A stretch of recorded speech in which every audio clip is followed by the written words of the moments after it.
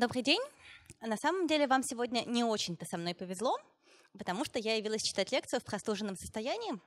И хотя, скорее всего, я не заразна, потому что я еще не чихаю и не кашляю. Чихать я буду послезавтра в Новосибирске. Э, но зато у меня температура, от этого я буду тупить, тормозить и забывать слова, поэтому извините. Э, но зато, чего у меня точно нет, так это у меня точно нет депрессии. Это очень хорошо. Я ходила недавно специально к психотерапевту, чтобы он мне это подтвердил. Э, меня туда послал муж, потому что он думал, что если я не хочу детей, значит, у меня депрессия. Э, и оказалось, что нет, что все-таки дело не в депрессии. И это очень хорошо, что у меня ее нет. И, скорее всего, у вас ее тоже нет. Потому что если бы у вас была настоящая, серьезная, тяжелая клиническая депрессия, то вы бы вряд ли ходили в парк Зарядье слушать научно-популярные лекции. Вы бы, скорее всего, лежали лицом к стенке, а в том случае, если бы у вас случилось какое-то просветление, э, вы бы, возможно, попытались совершить самоубийство в тот момент, когда у вас появились на это силы. Э, и в истории науки было несколько случаев, когда люди пытались совершить самоубийство, пребывая в тяжелой депрессии, э, путем того, чтобы выстрелить себе в голову. Вот одна женщина, например, выстрелила себе в голову из ружья э, и испортила себе значительную часть лобной коры. Другой человек выстрелил себе из арбалета и испортил значительную часть лобной коры. Но оба этих человека из этих клинических случаев выжили, и мало того, что выжили, но и настроение их улучшилось. Э, потому что так получилось, что они оба разнесли себе вентромедиальную префронтальную кору. А дело в том, что вентромедиальная префронтальная кора нужна человеку для того, чтобы оценивать эмоции, которые, о которых мозг сообщает из своих подкорковых структур. В частности, вентромедиальная префронтальная кора очень тесно взаимодействует с амигдалой. Про амигдалу вы могли слышать. Амигдала или миндалевидное тело — это такой центр страха, зона, которая занимается многими эмоциями, но в первую очередь отрицательными и в первую очередь именно страхом. И поэтому в том случае, если ваша кора э, лишается способности разговаривать с подкорковыми структурами, которые отправляют ей сигналы о страхе и тревоге, то жизнь ваша начинает казаться вам значительно более нормальной. Э, вот в случае первой женщины э, ей и врачи отмечали, и ее бойфренд отмечал, что она стала радостной и веселой. Э, и врачи писали, что больше нет ни грусти, ни суицидальных мыслей. И сама женщина говорила так. Э, что касается второго человека, 33-летнего мужчины, который разнес себе вентромедиальную префронтальную кору с помощью арбалета, э, то про него врачи прямо даже с каким-то неодобрением говорили, что безразличен к своей ситуации и неуместно радостен. Не, ну а что? И, но на самом деле вот эта статья, на которую я ссылаюсь, она эти два клинических случая упоминает вскользь, а посвящена она не столько даже этому, э, сколько она посвящена вечному диалогу, который происходит в нашей лобной коре э, между двумя ее отделами. Между дорзолатеральной префронтальной корой, которая находится примерно вот здесь и вот здесь, и между вентромедиальной префронтальной корой, которую я на себе показать не могу, не потому что у меня ее нет, а потому что она у меня внутри. Вот это мозг, разрезанный пополам посередине, и вот если вы заглянете на э, ту часть, которая находится во лбу, но при этом изнутри, в, это разрез по сагитальной линии, то есть вот так вот насквозь, то вот там будет у вас э, вентромедиальная префронтальная кора. И известно, что если у людей повреждена вентромедиальная префронтальная кора, то вот у них может пройти депрессия. А если у людей повреждена наоборот дорзолатеральная префронтальная кора, то они в эту депрессию могут угодить с большей вероятностью. Э, что в то время как вентромедиальная префронтальная кора обращает внимание на наши неприятные эмоции, э, дорзолатеральная не то чтобы даже обращает внимание на положительные, а скорее она служит таким голосом разума, который позволяет, в принципе, обращать меньше внимания на те э, эмоциональные бури, которые мы постоянно испытываем, относиться к ним более объективно. Особенно для этого полезна левая, вот с этой стороны дорзолатеральная префронтальная кора — но про дорзолатеральную префронтальную кору я когда-нибудь сделаю отдельную лекцию, хотя если мы ее так назовем, то я не знаю, кто на нее придет. Э, а сейчас мы говорим про вентромедиальную, и вот у меня к вам какой вопрос. Вот как вы думаете, если у человека повреждена э, та зона мозга, которая отвечает за то, чтобы он прислушивался к тем эмоциям, которые он испытывает, и если мы будем давать ему принимать какие-то решения, то будет ли он принимать их как нормальный человек, э, или у него что-то изменится в принятии решений, а если да, то в какую сторону? Э, разброс уменьшится, то есть они станут более э, линейными, Это, кстати, вполне вероятно, да. Можем ли мы сказать, что они будут более рациональными? Ну, в каком-то смысле да. Таких работ на самом деле проводится довольно много. Э, это обычно люди, у которых вентромедиальная префронтальная кора была повреждена э, в результате, например, инсульта э, или каких-то проблем такого рода. Вот набирают группы таких людей и предлагают им всякие разные моральные дилеммы и смотрят, как они на эти моральные дилеммы реагируют и будет ли это как-то отличаться от того, как реагируют на них обычные люди. Вот представьте себе такую ситуацию. Вас зовут Грейс, и вы пришли на экскурсию на химический завод вдвоем с подругой.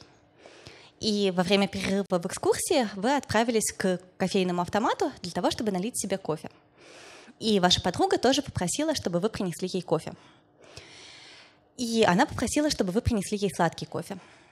И вы около этого контейнера, э, э, около этого кофейного автомата, вы увидели контейнер.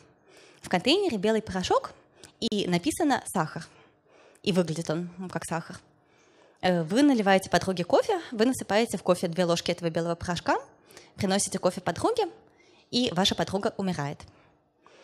Потому что выяснилось, что если вы находитесь на химическом заводе, то лучше не насыпать белые порошки из неизвестных контейнеров, чтобы на них не было написано. На самом деле просто по случайности в коридоре около кофейного автомата оставили контейнер э, из-под сахара со смертельно опасным ядом. Э, вопрос тут какой? Насколько вы виноваты если вы Грейс, насколько неприемлемо было ваше поведение, когда вы случайно отравили подругу? Кто считает, что Грейс плохой человек, заслуживающий наказания?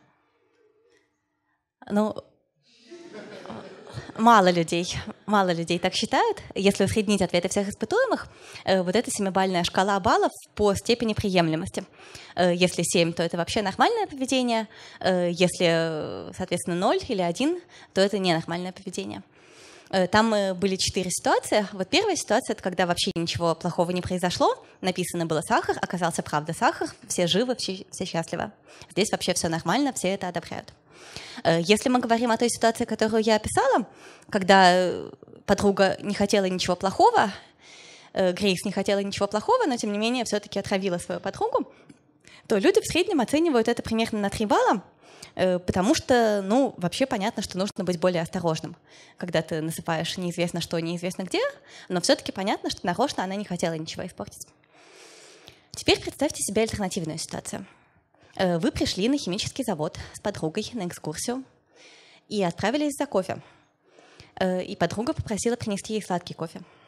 И вы видите контейнер, в котором находится белый порошок, и на контейнере написано «яд», «опасно», токсично, череп и кости нарисованы. Но, тем не менее, руководствуясь какими-то своими внутренними побуждениями, вы насыпаете из этого контейнера две ложки э, в, в кофе, приносите кофе подруге, подруга выпивает кофе, и с ней все в порядке, потому что рабочие, как всегда, перепутали контейнеры, и на самом деле это был сахар. Вопрос, насколько приемлемо ваше поведение в этой ситуации? Э, поднимите руки, кто стал бы дружить с Грейс. Ну, ну, в общем, ну так. Э, наверное, все-таки большинство людей считает, что лучше не дружить с людьми, которые хотят э, насыпать порошок вам в кофе из контейнера с надписью «Яд». Э, и, э, в общем и целом, э, действительно, люди обычно говорят, что не очень-то хорошо себя повела Грейс. Вот еще даже меньше оценка ее приемлемости, чем была в прошлом случае, хотя не намного. Но здесь есть три группы людей, которых мы расспрашиваем – белый столбик — это здоровые испытуемые, э, без каких-то повреждений в мозге. Э, серенький столбик — это испытуемые, у которых какие-то зоны мозга были повреждены, но, по-видимому, не связанные с эмоциями. А третья группа — это люди с повреждениями вентромедиальной префронтальной коры, о которой мы говорили, что она нужна для того, чтобы прислушиваться к эмоциям, которые порождает ваша подкорка. И вот здесь выясняется, что оценки испытуемых отличаются. Что те люди, у которых повреждена вентромедиальная префронтальная кора, они говорят, а что такого? Подруга осталась жива. С подругой все в порядке, она здорова, она выпила сладкий кофе. Какие проблемы? Э, то есть они склонны оценивать действия по их результатам. Э, по тому, что случилось с людьми на самом деле, э, а не потому, что там кто-то себе имел в виду. Да, вот помните, в университете на философии были утилитаристская этика, когда оценивают по результату, и, если я не ошибаюсь, деонтологическая этика, да, когда оценивают по намерению.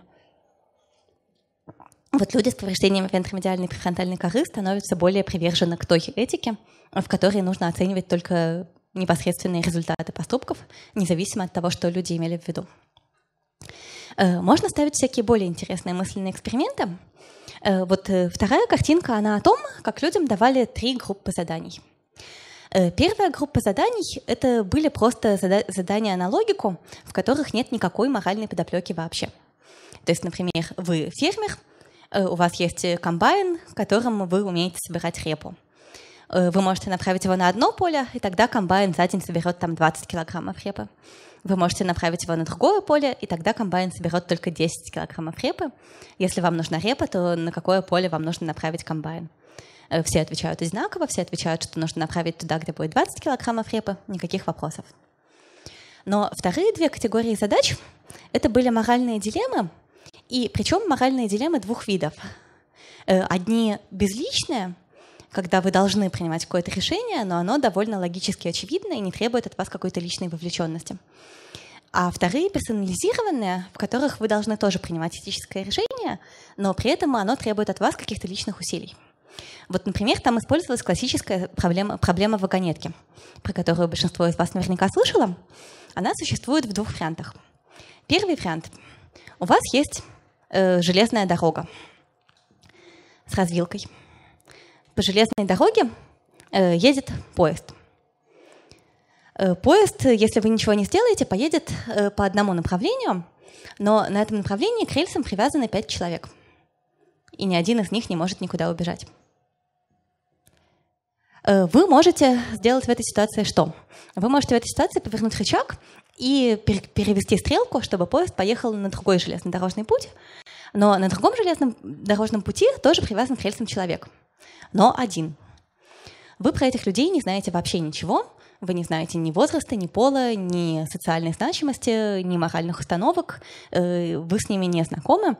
Э, единственное, что вы знаете, что в одном случае погибнут пять людей, а в другом случае погибнет один человек. И вопрос в том, должны ли вы перевести стрелку. Э, большинство людей действительно считает, что да. Но теперь представьте альтернативную ситуацию, персонализированную. У вас есть рельсы. Э, по рельсам едет вагонетка. Впереди привязаны пять человек. Никакой развилки нет. Но зато вагонетка проезжает под мостом. Вот такой мост, не то чтобы я была хороший художник. В общем, это мост, поверьте мне на слово. А на мосту стоит толстый мужик – и если вы подойдете и столкнете толстого мужика с моста, то тогда вагонетка об него остановится. Толстый мужик погибнет, но зато вот эти остальные пять человек, привязанные к рельсам, выживут. Э, никаких других опций у вас нет, ничего больше другого на рельсы спросить вы не можете. Если вы даже сами на них прыгнете, вы слишком худенький, вагонетка вас переедет и поедет дальше, вы можете только спросить толстого мужика. Э, стали ли бы вы в этой ситуации спрашивать толстого мужика? Ну, допустим, допустим, он стоит на самом краю очень неустойчиво.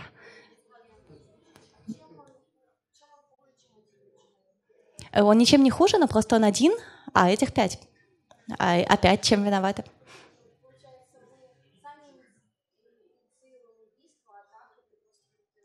Ну, вот смотрите, да, да. Да, совершенно верно. Абсолютное большинство людей, у вас есть вентромедиальная префронтальная кора, я поздравляю вас. Э, абсолютное большинство людей действительно видят разницу между вот этими двумя гипотетическими ситуациями. Они считают, что переключить стрелку может быть и окей, если уж э, надо. Э, а вот столкнуть человека с моста — это как-то too much. Но не таковы люди с повреждениями вентромедиальной префронтальной коры. Э, люди с повреждениями вентромедиальной фронтальной коры, они оценивают э, любой э, выбор по его логическому выхлопу.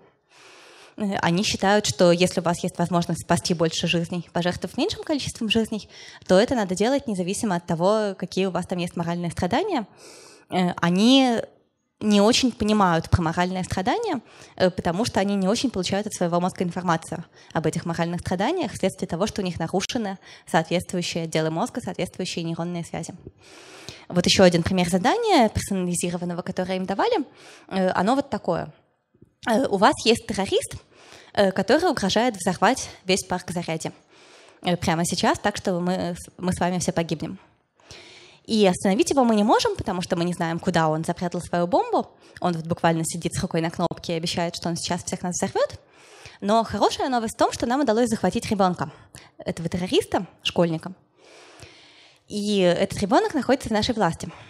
И что нам сейчас нужно сделать? Нам нужно взять этого ребенка и отрубить ему руку э, перед телекамерой и пообещать террористу, что если он не остановится и свою бомбу не, не обезвредит, не отменит, э, то тогда мы отрежем этому ребенку и вторую руку, а потом будем убивать его мучительной смертью. Э, мы предполагаем, что на террориста это подействует. Э, но готовы ли лично мы начинать пытать перед камерой его ребенка? Ну, э, мы предполагаем, что это будет эффективно, но вот тем не менее не знаю, не знаю, я надеюсь, как, как мы все надеемся, никогда не столкнуться с таким выбором, но тем не менее, когда такого рода задачи задают людям, и спрашивают, насколько они готовы это делать, э, все-таки около трети людей говорят, что они готовы э, пытать ребенка перед камерой или, например, сталкивать толстого мужика. Э, но при этом этот процент сильно увеличивается в том случае, если у людей есть повреждение вентромедиальной префронтальной коры. То есть что здесь существенно? У людей и у тех, у кого есть повреждение вентромедиальной префронтальной коры, и у тех, у кого его нет, у нас, в принципе, одинаковые ценности – мы все, в принципе, считаем, что человеческая жизнь — это хорошо, э, мы все считаем, что лучше бы спасать побольше жизней людей и меньшим количеством жизней жертвовать. Э, но при этом э, в случае людей, у которых есть вот эта вентромедиальная префронтальная кора, чувствительная к эмоциям, мы еще иногда дополнительно сталкиваемся с какими-то эволюционно древними табу насчет прямого причинения вреда э, ближнему своему, э, мы сталкиваемся с какими-то морально-нравственными угрозениями, которые не позволяют нам своими руками проливать кровь, даже если мы считаем, даже если мы уверены, что это приведет к общественному благу.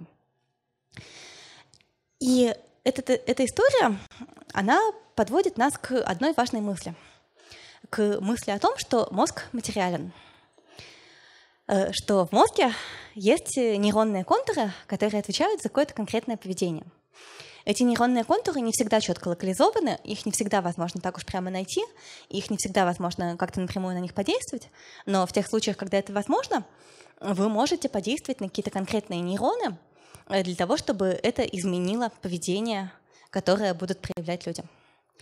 И вот на самом деле нейробиология, как наука, довольно многим, многим обязана людям с травмами, э, потому что по мере того, как накапливалась информация о том, как ведут себя люди, у которых повреждены те или иные отделы мозга, э, мы получали больше и больше информации о том, для чего какой отдел мозга нужен, в чем он задействован. У меня есть про это пара примеров. Один из них совершенно хрестоматийный. Э, вы про него сто раз слышали, в том числе наверняка вы про него слышали и от меня тоже но я не могла удержаться от э, возможности показать вам картинку Олега Навального, э, который иллюстрирует вот сейчас мою третью следующую книжку про мозг и рисует к ней всякие нелепые картинки. Например, про пациента HM, э, он же Генри Моллисон. Поднимите руку, кто из вас знает, твердо и уверенно, кто такой Генри Моллисон. Ну, простите, вы в меньшинстве, поэтому я все равно буду об этом рассказывать. Вы можете пока почитать в телефоне что-нибудь, поиграть там в шарики. Э, смотрите, э, дело было в 1953 году. Генри Моллисон страдал от тяжелейших эпилептических приступов, которые разрушили его жизнь и разрушили его карьеру. И все ему разрушили. Э, каждую неделю несколько раз он падал в жесточайшем припадке, в судорогах. У него происходило непроизвольное мочеиспускание. Это происходило внезапно, в неожиданное время. Он терял сознание. Потом весь день ходил как сам нам было. Ему было 27 лет, и, в общем-то, ему хотелось бы, чтобы его жизнь еще продолжалась каким-то более интересным образом. Он стал искать э, врачей, которые потенциально могли бы ему помочь. Он перепробовал все лекарства против эпилепсии, которые на тот момент существовали, а тогда было мало лекарств от эпилепсии, они были низкоэффективны. Он перепробовал много чего. В конце концов, он обратился к Вильяму Сковиллу. Вильям Сковилл вообще-то эпилепсией не занимался. Э, Вильям Сковилл интересовался лоботомией. Это было время, когда лоботомия уже шла к своему закату, вот в 40-е годы интенсивно практиковалось разрушение людям лобной коры э, или перерезка связей между лобной корой и другими участками мозга, потому что это делало их безвольными и, соответственно, делало их менее опасными в качестве пациентов психиатрических клиник. Э, я думаю, что «Пролетая над гнездом кукушки» примерно все смотрели или читали. Э, и в «Пролетая над гнездом кукушки» мы все сочувствуем главному герою, которому сделали лоботомию, но все-таки совершенно забываем о том, что ему ее сделали после того, как он напал на медсестру. И, в общем и целом, а что еще персонал больницы должен был делать, учитывая, что это были 40-е годы, и тогда не было никаких эффективных лекарств. Э, не было никак... галоперидола, не было, ничего не было такого, что могло бы успокоить э, сошедшего с ума агрессивного пациента, кроме лоботомии. Но, тем не менее, вот Вильям Сковилл, он был из прогрессивных э, исследователей метода. Он считал, что, может быть, не нужно разрушать какие-то большие куски коры, и вообще, может быть, надо как можно точнее понять, что разрушать, а что нет, для того, чтобы максимально сохранить человеку личность, э, но при этом просто убрать агрессию. Он проводил эксперименты, он э, отрезал людям либо дорзами, либо разрушал людям связи остального мозга, либо с дорзолатеральной префронтальной корой, либо с вентромедиальной префронтальной корой, либо с орбитофронтальной корой, которая находится более снаружи, примерно на той же высоте, что и вентромедиальная. Э, и пришел к выводу, что вроде бы лучше всего работает разрушение орбитофронтальной коры, а потом еще посмотрел, что она связана тесно с височной долей, и, может быть, нужно вообще в лобную кору не лезть, а может быть, нужно вырезать височную долю, разрушать что-нибудь в ней, тогда вроде бы и личность сохраняется, а вроде бы и психоз проходит. Первые результаты у него были хорошие, и в этот момент к нему приходит Генри Мольсон. Говорит, доктор, я страдаю от эпилепсии, сделайте что-нибудь. Э, Вильям Сковилл ему говорит, ну, вообще-то современная наука не знает, чем вам помочь, но если хотите, я могу вырезать вам височную долю. Э, ну, на самом, на самом деле, э, на самом деле в этом была некоторая логика, потому что что было известно? Было известно, что хотя вообще-то после операции на мозге у людей часто развивается эпилепсия, но вот именно в случае операции на височной доле, наоборот, она обычно не развивается, и что вообще, если вы не можете найти, где где начинается эпилептический припадок, как было в случае Генри Моллисона, то ча- часто это означает, что он начинается именно в височной доле. Ну и кроме того, на самом деле Сковилл, он же не хотел вырезать всю височную долю. Э, там идея была такая, что он во время операции откроет Генри Моллисону мозг, и будет микроэлектродами стимулировать э, прямо во время операции отдельные кусочки мозга для того, чтобы попытаться все-таки таким методом найти, где у него возникает эпилептический припадок. И уже только если не получится, вырезать много. Но, к сожалению, в процессе операции не получилось найти, локализовать. И э, Вильям Сковилл подействовал по плану А. Он вырезал большой кусок височной доли, э, в том числе вырезал полностью гиппокамп, э, вырезал полностью амигдалу, вырезал парагиппокампальную извилину, вырезал много всего. Хорошая новость в том, что эпилепсия у Генри Моллисона действительно прошла ну, то есть она стала намного слабее, он э, смог контролировать ее с помощью тех лекарств, которые существовали на тот момент. И, в принципе, интеллект у него не повредился, личность у него не повредилась. Э, но единственное, что Вильям Сковилл заметил, что он перестал узнавать э, медицинский персонал, с которым он знакомился, в том числе самого Вильяма Сковилла. Вот, но его это не очень заинтересовало, он пациента выписал домой. Потом, уже через два года после этого, он поехал на конференцию нейробиологов, встретил там Вайдлера Пенфилда, это другой звездный нейробиолог того времени. И Вайдер Пенфилд упомянул, что у него был случай, когда пациенту вырезали гиппокамп, у него после этого возникли проблемы с запоминанием. Сковил к нему подошел, говорит, а вот у меня тоже был такой случай, вам не интересно?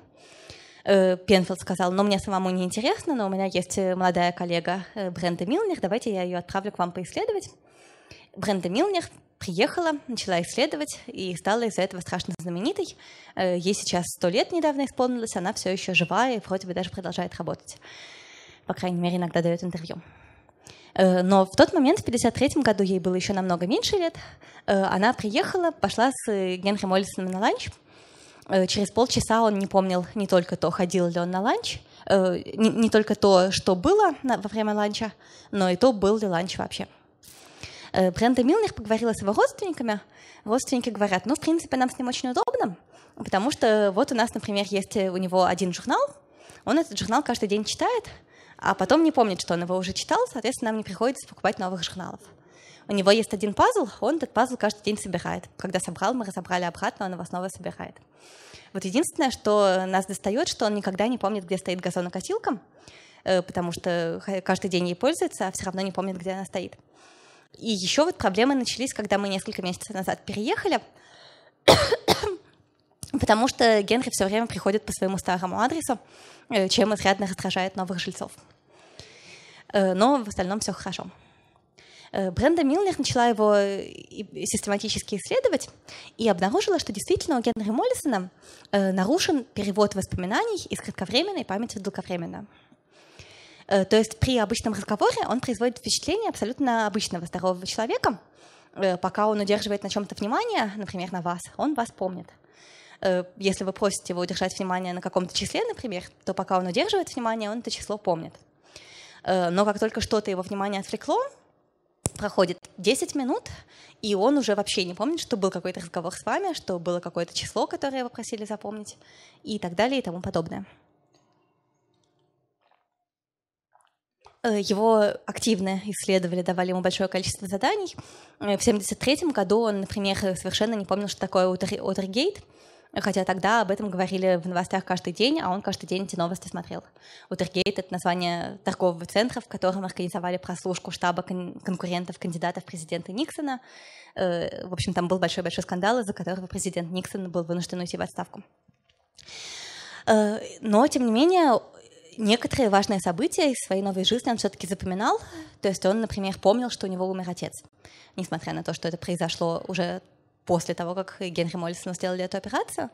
Он не помнил никаких деталей по поводу этого события, но сам факт того, что отец его больше не живой, это он помнил. Э, но главное, обнаружилось, что вот это повреждение гиппокампа совершенно никак не повлияло на моторную память. У нас бывает декларативная память. Это о том, что можно описать словами. Э, меня зовут Ася Казанцева, здравствуйте. Э, если вы это помните, у вас работает декларативная память. И у нас бывает имплицитная память. Это память о тех вещах, которые словами описать довольно сложно. Например, о том, как кататься на велосипеде, как плавать брасом. Э, или вот в случае Генри Моллисона его учили рисовать фигуры, э, глядя не на свою руку, а на отражение этой руки в зеркале. То есть вы видите э, руку в зеркале, она движется не туда, куда вы имеете в виду, вам нужно обвести фигуру. Сначала это сложно, и рука у вас туда-сюда сдвигается. Но потом, по мере того, как вы тренируетесь, у вас это получается лучше, лучше и лучше. Э, вот э, номер ошибок в течение каждой попытки неправильно проведенных линий. И, э, в общем, у вас стало получаться лучше. Потом на следующий день вы приходите в лабораторию еще раз, вам предлагают это задание. Вы говорите, доктор, но это же очень сложно, у меня не получится.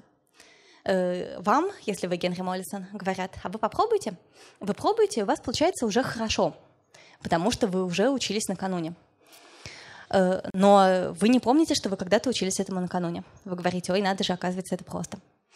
Вы приходите в лабораторию на третий день, у вас сразу получается замечательно. Вы говорите, ой, ничего себе, какой я гениальный. Задание выглядит сложным, а оказывается, с первого взгляда все получается сразу, как здорово.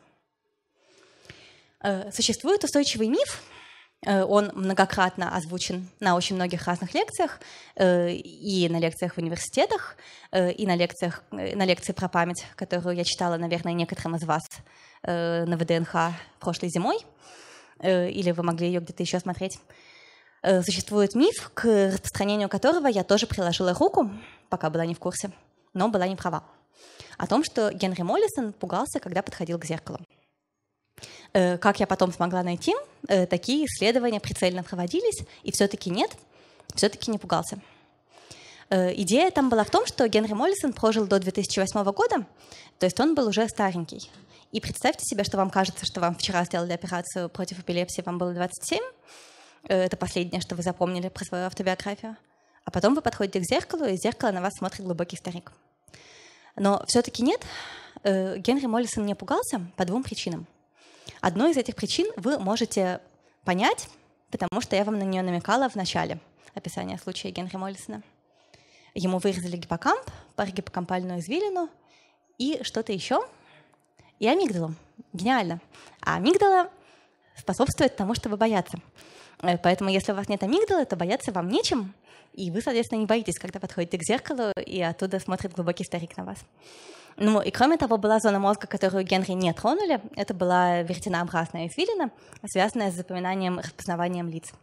Ну, то есть, по-видимому, то, что она у него сохранилась, позволяло ему апдейтить, обновлять уровень э, представления о своем лице по мере каждого нового подхода к зеркалу, и таким образом тоже воспринимать это как должное. А вот что касается людей, у которых нет амигдалы.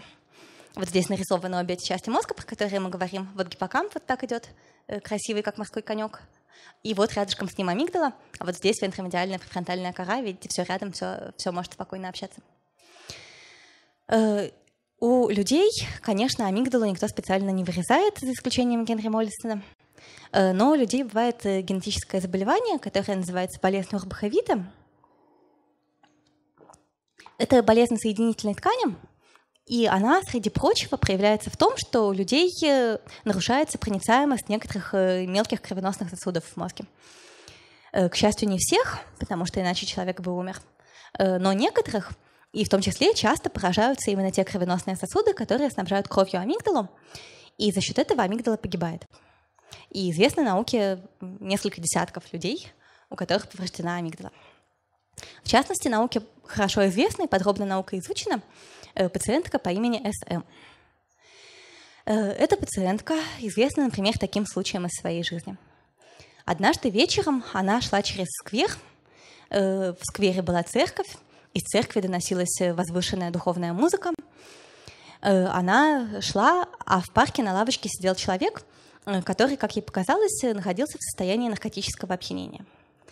Он ее к себе поманил, она к нему подошла, Э, он схватил ее за рубашку, э, взмахнулся на нее ножом, закричал «Я тебя зарежу, сука!» Я упоминаю этот эпизод в своей будущей книжке, и я в связи с этим специально консультировалась с издательством, как именно нужно переводить слово «бич», э, для того, чтобы книжку не продавали потом в целлофане с пометкой 18+. Мне сказали, что суку можно. Все в порядке.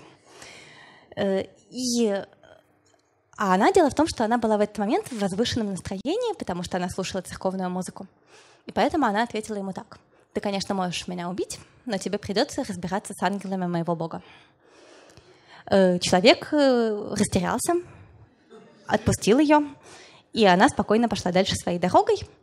Э, на следующий день ходила через парк точно так же, как ни в чем не бывало. Исследователи разговаривали с 20-летним сыном пациентки СМ. Он за все годы своей совместной жизни с ней, с ней не смог вспомнить вообще ни одного случая, когда бы она испугалась вспомнил ряд противоположных случаев, когда, например, во двор заползала большая ядовитая змея, а СМ брала ее руками, уносила за ограду для того, чтобы по ее двору змея не шастала. Э, ученые пытались пугать ее целенаправленно, соответственно, тоже, например, приводили в зоомагазин, показывали страшных змей и пауков.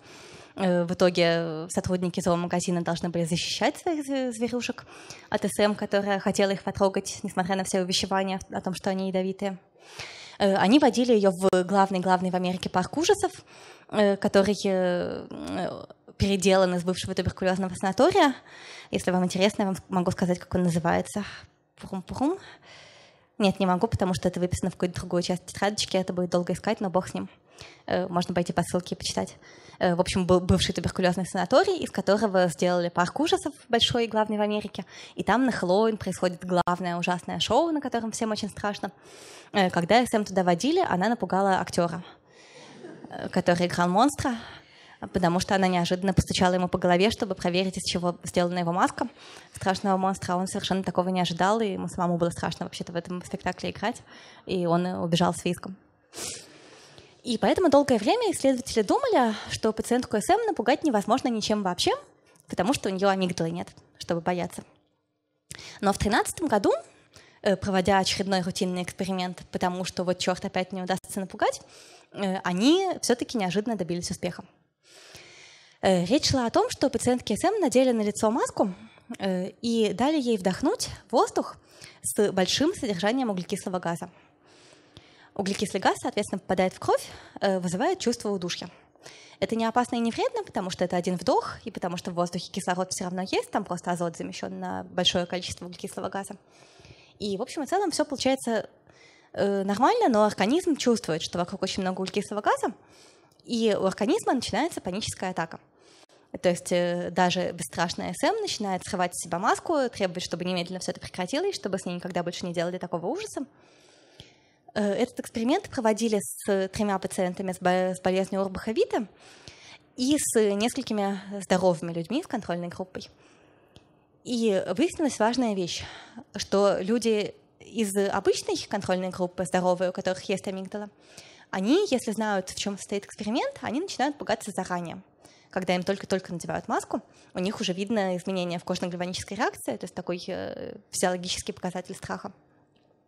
Э, что касается таких пациентов, как СМ, у них не всегда удается померить надежно кожно-гальваническую реакцию, потому что вы помните, это болезнь соединительной ткани, там кожа тоже не совсем такая, как у обычных людей, не совсем легко померить кожно-гальваническую реакцию.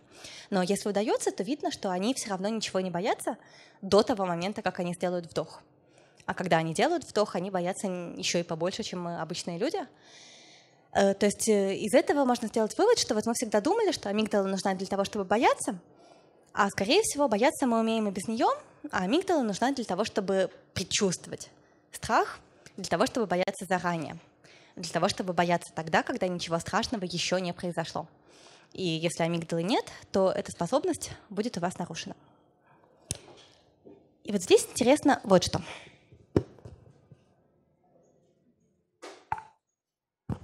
Я сейчас, мне нужно полминуты перерыва.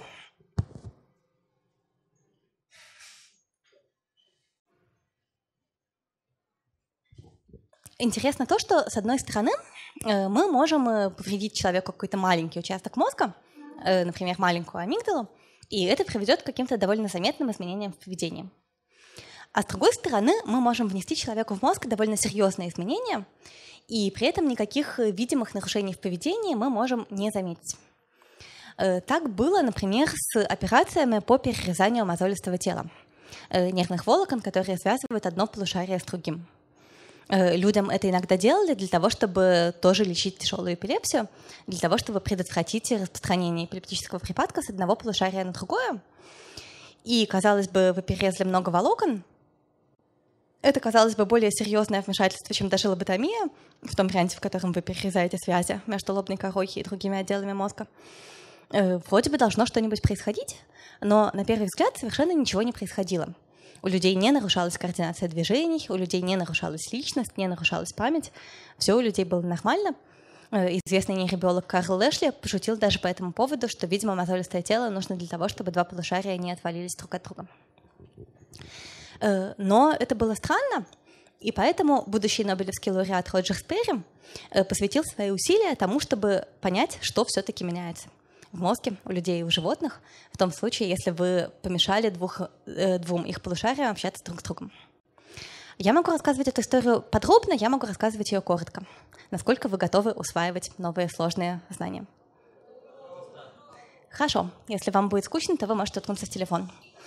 Смотрите, у нас есть два полушария. Сейчас я сотру человечков, буду рисовать мозг. Вы можете пока рассматривать вот этот мозг. Э, я буду рисовать примерно то же самое, но по кускам, для того, чтобы было более понятно, какой кусок там для чего.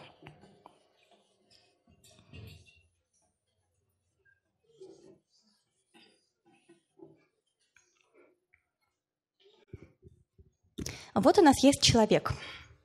Или животное, неважно. Это человек вид сверху, вот это у него ушки, вот это у него глазки. Глазки нарисованы в данном случае вот так. Сейчас объясню, почему. Вот это у него спина. А, чтобы было понятно, что это спина, вот пусть у него будет косичка расти сзади затылка. Э, человек — вид сверху. У человека есть правое полушарие, вот правое. И у человека есть левое полушарие, левое. А это у человека глаза, э, то есть конкретно две сетчатки двух глаз — и вот что мы знаем про то, как устроены две сетчатки двух глаз. Э, мы знаем, что они э, отправляют информацию с разных своих половин в разные полушария. Вот у нас есть левая половина сетчатки, а левая половина сетчатки, соответственно, взаимодействует с правым полем зрения. Да, то есть если у нас какой-то стимул, допустим, страшный опасный таракан, появился с правой от нас стороны – то он, э, лучи света от него проецируются именно на левую половину сетчатки, а от левой половины сетчатки информация поступает в левое полушарие. Она поступает вот сюда, э, и из этого глаза второго она тоже поступает вот сюда. И наоборот, э, если у нас правая, э, правая половина сетчатки, которая отвечает за левое поле зрения, вы пока успеваете да, следить за мыслью, э, то из нее вся информация идет наоборот вот так в правое полушарие. То есть первая часть вот этого эволюционного безумия заключается в том, что у нас такое хитрое поступление информации в мозг, что то, что мы видим в правом поле зрения – Оттуда вся информация поступает в левое полушарие, э, на левую половину сетчатки и в левое полушарие. Э, и наоборот, то, что мы видим в левом поле зрения, оттуда вся информация поступает в правую половину. Э, на этом эволюционное безумие не заканчивается. У нас, кроме того, еще и мышцами тела. Мозг управляет шиворот на выворот. У нас левое полушарие управляет правой рукой и правой ногой, а правое полушарие управляет левой рукой и левой ногой. С чем это может быть связано? Это, это становится более понятным как раз в свете вот этой вот картинки про страшную опасность. Потому что представьте себе, вы увидели страшную опасность справа. Это означает, что реагировать на страшную опасность вам желательно именно правой рукой, именно правой ногой. Вы увидели таракана справа, вам нужно на, правый, на правую ногу отправить сигнал для того, чтобы от этого таракана отпрыгнуть. Или на правую руку для того, чтобы этого таракана прихлопнуть. И в этом смысле вам может это сэкономить время, э, если если вы отправляете сигналы именно левым полушарием, потому что в него информация попала первой. Э, в принципе, у разных животных это немного по-разному распределено, это может меняться в ходе эволюции. Э, степень вот этой асимметрии, степень вот этой перепутанности, она может быть разной. Но у высших млекопитающих она довольно четкая и выраженная, эта асимметрия. У нас зрительная система устроена таким образом, что информация об опасностях, поступающих справа, попадает в левое полушарие, и поэтому оказывается выгодным именно из левого полушария отправлять сигналы на правые конечности для того, чтобы спасаться от опасности. И вот эти свойства э, нашего мозга, э, собственно, использовал, планировал использовать Роджер Сперри для того, чтобы ставить хитрые тонкие эксперименты, э, связанные с тем, чтобы смотреть, что все-таки меняется в мозге у людей, если им перерезать мозолистое тело. Обычно мы никакой особой разницы между функциями полушарий не замечаем, потому что у нас есть мозолистое тело. Вот эта толстая-толстая-толстая нервная перемычка, э, которая обеспечивает коммуникацию между правым и левым полушарием, и любая информация, которая оказалась в одном из них, довольно быстро попадает и в другое тоже. Э, но вот людям в случае с эпилепсией это мозолистое тело перерезали по медицинским показаниям, и при этом вроде бы ничего страшного с ними не происходило, вроде бы нормально с ними все было вполне они справлялись с жизнью. Э, Спери начал с экспериментальных животных. Э, он начал с котиков. Котикам он тоже перерезал мозолистое тело. И кроме того, поскольку они котики, то им он мог себе позволить перерезать еще и вот это место, вот этот перекрест зрительных нервов. А если вы перерезали перекрест зрительных нервов, то смотрите, вообще получается супер удобно. У вас теперь получается, что от всего левого глаза вся информация поступает только в левое, в левое полушарие потому что здесь вы перерезали дорогу. И наоборот, от правого глаза вся информация поступает только в правое полушарие, и поэтому в случае экспериментального животного вы вообще можете делать суперудобные эксперименты. Э, вы можете просто-напросто закрыть ему один глаз. Вот портреты этих котиков. Э, вот э, Перри, у него имя Роджер, да, веселый Роджер, и его веселые пиратские коты. Такие классные. И дальше вы делаете интересные вещи. Э, вы закрываете коту одно полушарие, и после этого обучаете, э, извините, закрываете коту один глаз, и после этого обучаете его выполнять какое-нибудь задание простое. Э, например, вы обучаете его тому, что если он выберет кнопку с треугольником, то ему дадут еду, а если он выберет кнопку с квадратом, то ему ничего не дадут. Кот этому быстро научается. Вы его тестируете, он всегда делает правильно, он всегда нажимает на треугольник, и он никогда не нажимает на квадрат. Дальше вы снимаете ему повязку с одного глаза и надеваете на другой глаз. И выясняется, что кот вообще не в курсе. Выясняется, что кот больше не знает, что ему делать и на какую кнопку нажимать в том случае, если он видит задание другим глазом. вы можете его научить в этой новой ситуации делать наоборот. Вы можете научить его, что еда появляется тогда, когда вы показываете квадрат, и надо выбирать квадрат. Еды нет тогда, когда вы нажимаете на треугольник, и, соответственно, не выбираете треугольник. Вы можете научить одно полушарие выбирать треугольник, второе полушарие выбирать квадрат, и дальше, в зависимости от того, какой глаз вы закрываете коту, он всегда будет вести себя последовательно. Такая же история с лапами.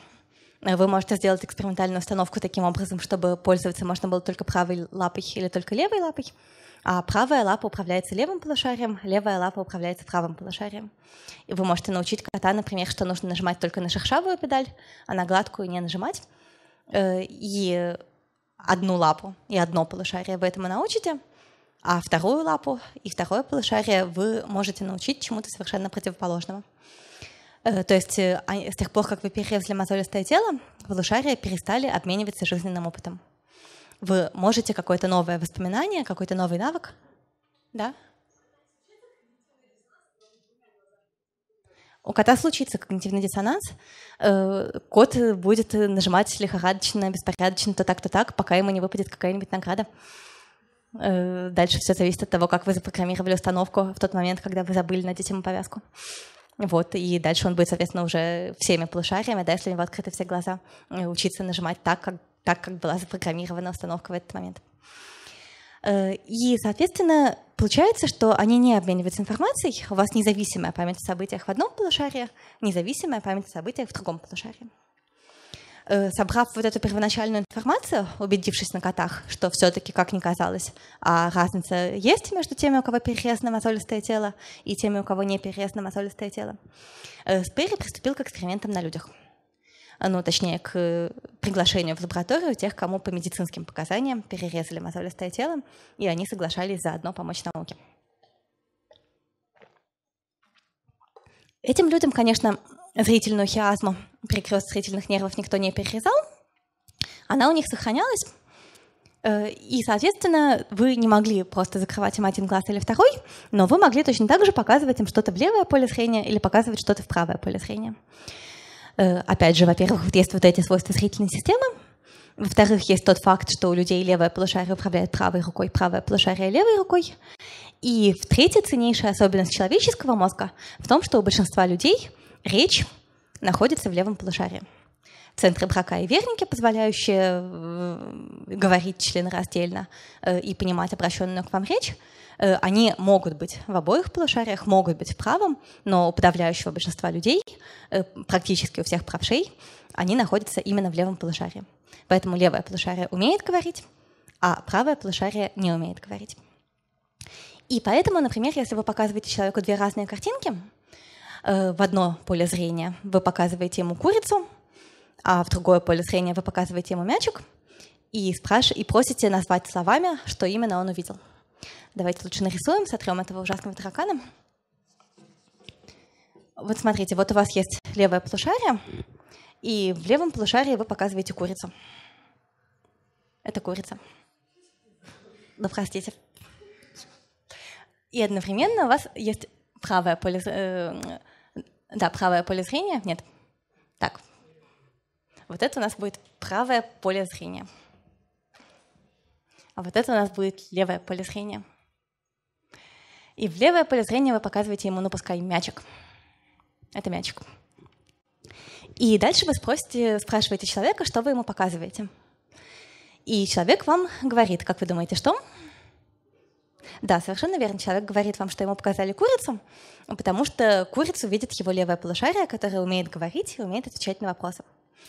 В то же самое время, если вы положите перед человеком на стол карточки с изображениями разных вещей и попросите его взять э, карточку с изображением того, что он видит перед собой на экране, э, и попросите его сделать это левой рукой, который управляет правое полушарие, то он у вас выберет карточку с чем?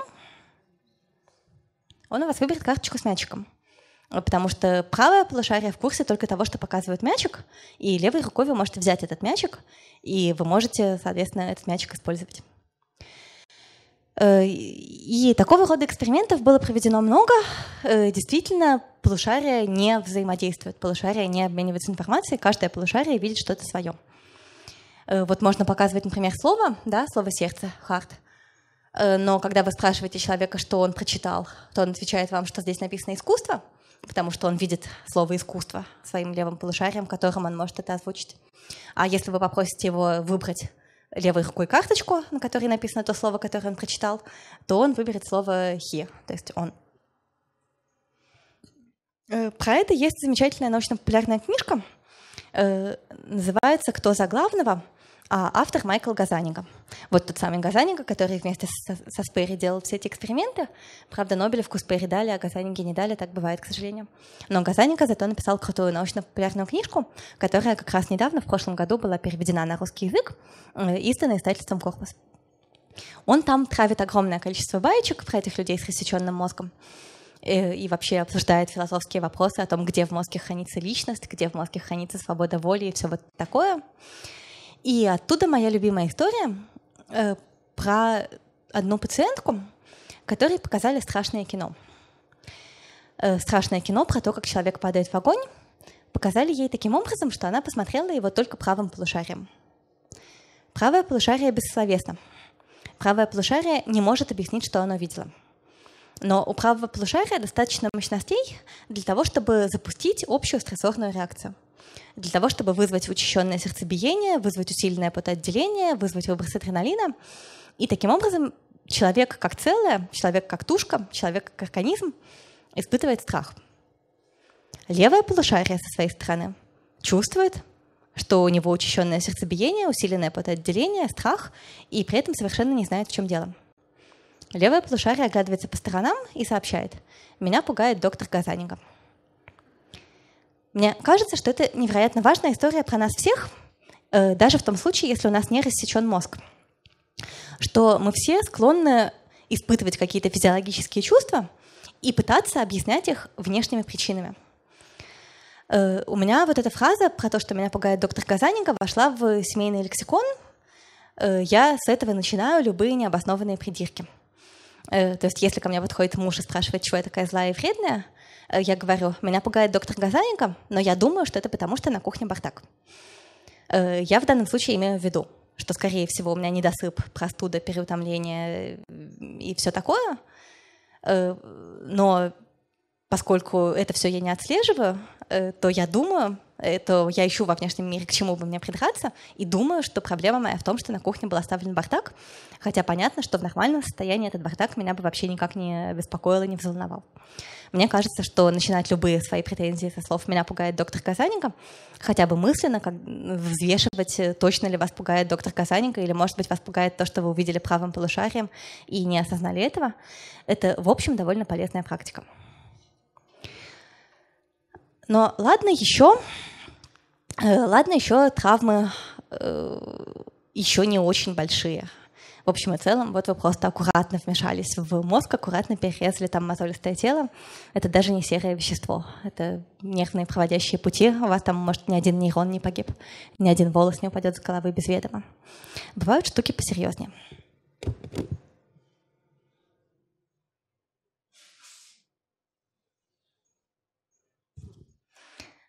Вы наверняка сто раз видели в новостях э, какие-нибудь картинки вот такого типа что нашли человека, который жил прямо вообще совсем-совсем без мозга, э, и тем не менее ходил на работу, был клерком, все у него было нормально. Э, таких случаев действительно описано несколько. Э, такие случаи, как правило, связаны с гидроцефалией. У нас есть в мозге такой водопровод, у нас в мозге есть желудочки, в которых циркулирует спинномозговая жидкость. Существует заболевание гидроцефалия, при котором отток жидкости от этих желудочков нарушается – и жидкость начинает там накапливаться и начинает давить на мозг и сдавливать его. Чаще всего это происходит в детстве, и это хорошо. Потому что если это произошло в младенчестве, то все, все педиатры, они натренированы обращать на это внимание. Если педиатр рассматривает вашего младенца и видит, что у вашего младенца как-то слишком быстро растет голова, потому что у младенца еще гибкие, податливые, не сросшиеся кости черепом, Э, то врач сразу может заподозрить гидроцефалию, сразу может отправить вас на анализы, на снимки. И в том случае, если гидроцефалия правда обнаружится, то человеку быстро сделают операцию, э, проведут, например, шунтирование для того, чтобы улучшить отток жидкости от э, желудочков, и все будет хорошо. Похуже бывает, если гидроцефалия началась уже во взрослом возрасте. Уже тогда, когда мозг у вас э, есть, э, а череп у вас твердый, э, и, соответственно, расти вашему мозгу некуда, и мозг оказывается сплющенным между вот этими желудочками, в которые накачивается спинномозговая жидкость, и твердым черепом. Опять же, в большинстве случаев э, все обходится хорошо, потому что у вас начинаются какие-нибудь симптомы. У вас начинается, например, сильная головная боль, тошнота, еще какие-то проблемы. И вы приходите к неврологу, невролог отправляет вас на разные диагностические обследования, обнаруживает, что у вас началась гидроцефалия, и опять же назначает вам операцию по оттоку жидкости. Э, но все-таки известно несколько случаев, э, связанных, по-видимому, с тем, что эти изменения проходили довольно постепенно, и мозг в значительной степени успевал перестроиться, в значительной степени успевал скомпенсировать э, те повреждения, которые к нему проходили. И человек сохранял высокую степень э, жизнеспособности, несмотря на то, что для мозга у него оставалось все меньше, меньше и меньше места. Один известный случай — это 20-летний студент, у которого был IQ 130, он изучал математику в университете, он пришел к врачу с жалобами на то, что ему уже 20 лет, а у него все еще не началось половое созревание. Э, то есть не было там ни полюции, ни эрекции, ничего такого, что вообще-то к 20 годам у людей уже обычно вполне себе есть, насколько мне известно. Э, и его врач обратил внимание на то, что у него довольно крупная на вид голова, э, отправил его просто на анализ, увидел, что да, действительно, у человека очень мало осталось от мозга, что, опять же, никак не помешало ему быть студентом-математиком, вполне успешным, процветающим. Вот эта фотография на самом деле не его, Э, это фотография 40-летней женщины, э, которая в этом возрасте пришла к врачу с жалобами на головную боль. Э, это единственное, что ее беспокоило. У нее все было в порядке, у нее было IQ 100, 98, если быть точным. Она работала администратором, она в качестве хобби учила иностранные языки, знала их 7 штук. Так что если вы знаете меньше, чем 7 иностранных языков, то устыдитесь. Вот, в общем, такие вещи бывают. Такие вещи можно заподозрить, потому что все-таки немножко череп растет. Вот у этой женщины окружность головы была 62 сантиметра. У меня лично 54. Или, может быть, наоборот, у нее 64, у меня 52. Это тоже было где-то записано. Но, в общем, порядок цифр вот такой. Но большая голова — это красиво. Вот люди специально прически делают, чтобы голова казалась больше. А может быть, может быть, на самом деле это вот что. Но в то же самое время бывают случаи, когда даже резкое повреждение мозга удивительным образом не привело к каким-то явным, серьезным, выраженным проблемам. Э, вот в 2017 году группа ученых международная описала случай одной конкретной пациентки э, из Аргентины. Э, женщина 40 с небольшим лет работала менеджером в Международном банке в Аргентине, все у нее было хорошо, но потом у нее произошли два инсульта с разницей в несколько месяцев между ними – и эти два инсульта прямо очень серьезно повредили ее мозг. Вот это срезы на разной высоте, э, которые красным э, отражают, какие части мозга были повреждены. Видите, большая-большая часть лобной, лобной как раз маленькая, височной теменной коры в правом полушарии, и левое полушарие тоже затронуто, и, в общем, много чего затронуто. Вот такая, по сути, оказалась в мозге дырка поврежденная полностью. И при этом у нее все было хорошо. То есть то количество неврологических нарушений, которые она проявляла, не шло вообще ни в какое сравнение с тем масштабом повреждений, которые были у нее в мозге. У нее, в принципе, все было в порядке. Ее в течение многих недель очень тщательно осматривала большая международная группа врачей. Они давали ей кучу разных тестов, э, самых разных неврологических тестов. Ну вот, например, такой тест «я стучу по столу один раз, вам нужно хлопнуть два». И наоборот. Если я стучу два, то вам нужно хлопнуть один.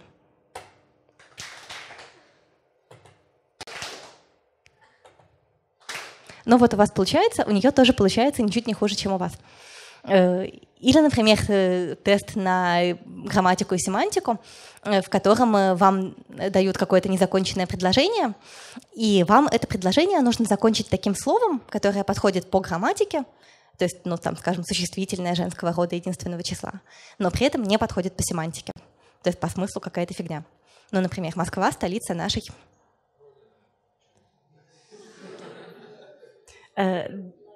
да, природы, ежевики, сестры, чего угодно, э, я понимаю, что это импульс, которому совершенно невозможно противостоять. Это не потому, что у вас инсульт, э, это потому, что это слишком, слишком, слишком сильно проявлено. Э, про это есть у Канемана прекрасная книжка «Думай медленно, решай быстро», про систему 1, которая принимает быстрые интуитивные решения, которым совершенно невозможно противостоять. Это нормально. Но, тем не менее, если вы сосредоточитесь, вот давайте дадим вам еще один шанс. Ягоды растут на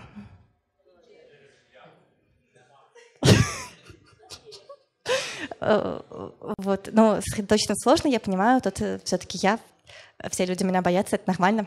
Я когда вижу своего научного руководителя, профессора Матео Фиура, я тоже не могу ничего сказать осмысленного. Э, все в порядке.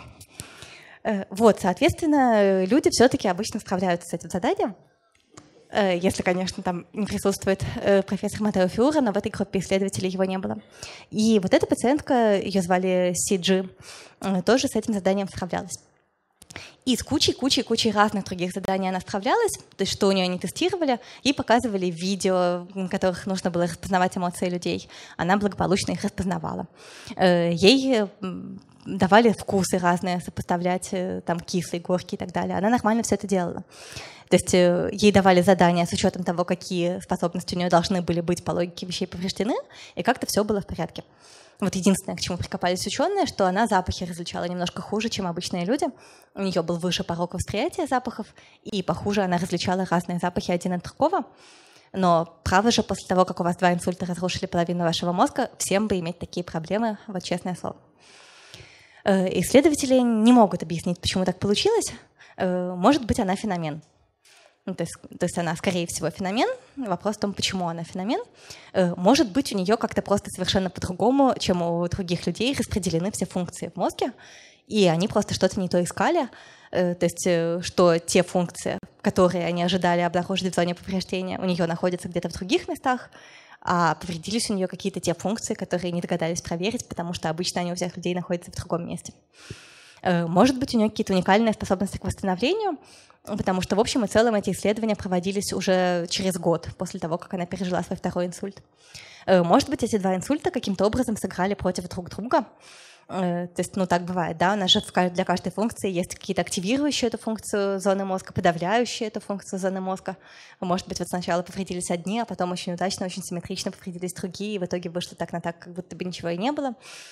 Э, исследователи даже отмечают, что она вела правильный образ жизни, всегда не курила, э, занималась спортом, играла в интеллектуальные игры, ходила на научно-популярные лекции, и, может быть, все это спасло ее. В общем, иногда некоторым везет, надо изучать, почему везет. Э, это может помочь когда-то и нам тоже. Что я имею сказать глобально? Глобально я имею сказать, что вот у меня в 2019 году выйдет книжка, которая будет состоять из трех частей – Примерно таких. Во-первых, я пытаюсь донести до общественности, что мозг имеет физическую природу что наши выборы, мысли, решения, эмоции и так далее э, появляются благодаря работе каких-то нейронов. В некоторых случаях эти нейроны можно найти. В некоторых случаях на них можно повлиять. В других случаях найти их сложно, потому что это какие-то сети, распределенные по многим разным отделам мозга, э, которые локализовать проблематично, но в принципе они все равно где-то есть. Э, во-вторых, э, мозг способен меняться. Э, когда у вас он медленно повреждается благодаря тому, что у вас медленно расширяются желудочки, вы в значительной степени можете это скомпенсировать. Когда у вас произошла какая-то травма, вы в значительной степени можете это скомпенсировать. Когда вы чему-то учитесь, например, слушаете научно-популярные лекции, вы выращиваете себе новые нейронные связи, вы обновляете нейронный контур Асы Казанцевой и ее лекции, в том случае, если он у вас в мозге есть, вы меняете себе мозг каждый раз, когда вы принимаете какое-то решение. Третья важная история про то, что мозг неоднороден, что в мозге есть разные отделы, э, которые приводят к нашему итоговому поведению, находясь в постоянном диалоге друг с другом. Это проявляется на очень разных э, уровнях организации, от того, как работает наша зрительная система, до того, как работает принятие каких-то серьезных жизненных решений. Вот в этой лекции мы это упоминали в связи Э, извините, в связи с тем, что у нас есть э, вентромедиальная префронтальная кора, которая тревожится. У нас есть дорзолатеральная префронтальная кора, которая призывает к порядку и здравому смыслу. Они ведут друг с другом диалог. Благодаря этому диалогу мы действуем более или менее адекватно. Если какая-то из них э, повреждается, перестает выполнять свои функции, то вторая получает неадекватное преимущество, и мы теряем э, реалистичность оценок, по крайней мере, в каких-то вещах, в каких-то событиях. Мы собрались здесь с вами сегодня, 21 э, сентября 2018 года, потому что мы с вами не стали собираться здесь 13 сентября. Потому что 13 сентября в порядке исключения я проявила себя как человек-петербуржец. Э, я жила в Петербурге первые 24 года своей жизни, с тех пор следующие, ох, много. Жила в Москве, э, я, у меня просто с устным счетом плохо, примерно 8. Э, вот. И, соответственно, обычно у меня московская идентичность доминирует. В этот раз, когда речь идет о травмах мозга, у меня доминирует питерская идентичность. Поэтому первыми я эту лекцию читала петербуржцам непосредственно 13 сентября 2018 года потому что 13 сентября 1848 года произошло событие, с которого, собственно говоря, началась современная нейробиология. И мы все еще его празднуем. Вот уже неделя прошла. Э, я 6 октября про это буду в Челябинске рассказывать, э, и все еще будем праздновать это событие. Мы празднуем день рождения нейробиологии. Потому что ровно 170 лет назад произошел взрыв при прокладке железнодорожных путей с которого, собственно говоря, началась современная нейробиология как наука. Э, когда вы хотите взорвать железнодорожные пути, э, извините, э, пути взрывать не надо, когда вы хотите взорвать скалу, для того, чтобы через взорванную скалу проложить рельсы, и вы при этом находитесь в XIX веке, вот на этом примерно месте, вот примерно эту самую скалу, то вы должны высверлить сначала отверстие, потом в это отверстие насыпать порохом, Потом сверху насыпать инертного материала, пропустить через все это э, фитиль, э, утрамбовать все это железной палкой и поджечь.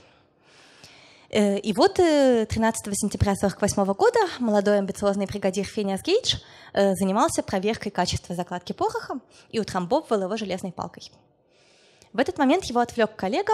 Финиас Гейдж обернулся через правое плечо и неудачно пошевелил палкой.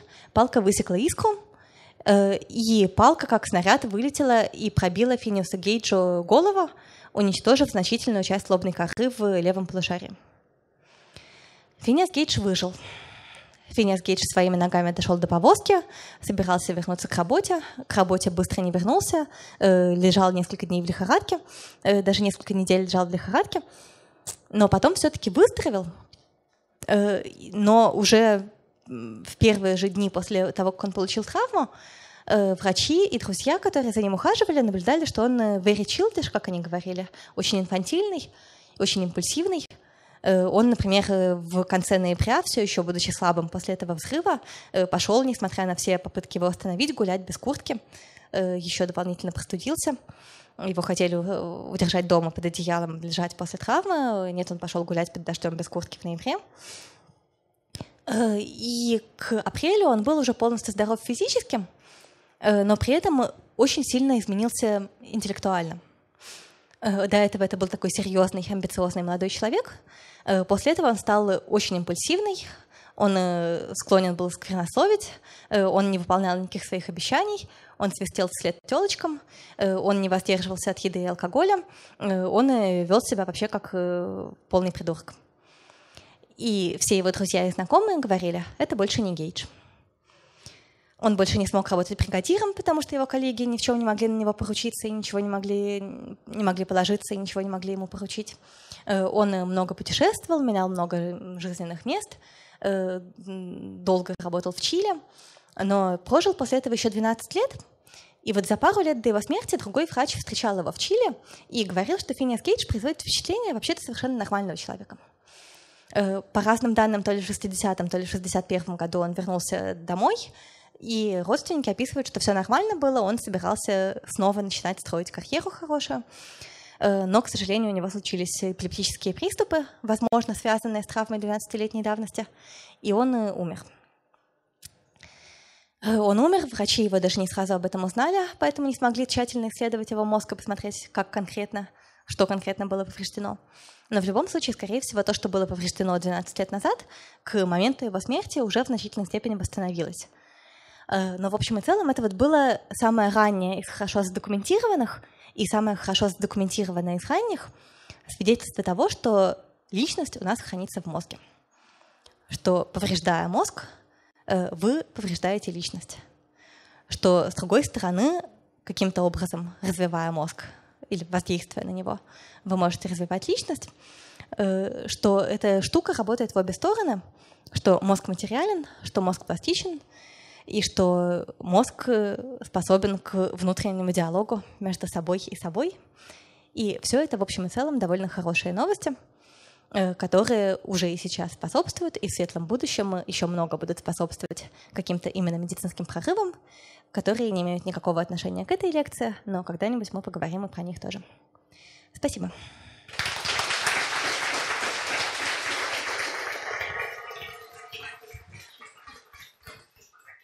Если у вас есть вопросы, то поднимайте руку, я к вам подойду. А если вы устали и хотите домой, то разрешается тихонечко сбежать.